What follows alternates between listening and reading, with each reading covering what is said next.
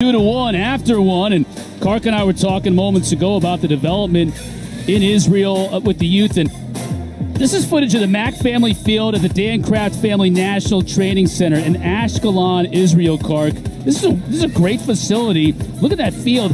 How about the fact that not only do you have two bomb shelters, this is in in the, near the Gaza Strip in the south of Israel. You have two bomb shelters nearby, but also the buildings like the weight room and everything else, they're made out of out of the, the crates that they use to shipping shipping containers. Yeah, it's, it's unbelievable. Weight room, offices, yeah, locker rooms. You see the the shipping containers on the side there, and that's Matthew Flapin.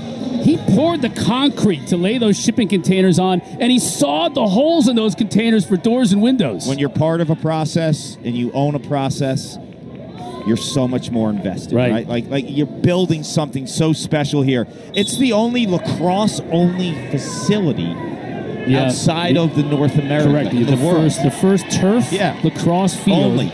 that's made just for lacrosse outside of North America and you know they have a saying it's called Hitmasrut, devotion to the cause. And certainly guys like Matthew Flapin exhibit such in terms of building lacrosse in Israel.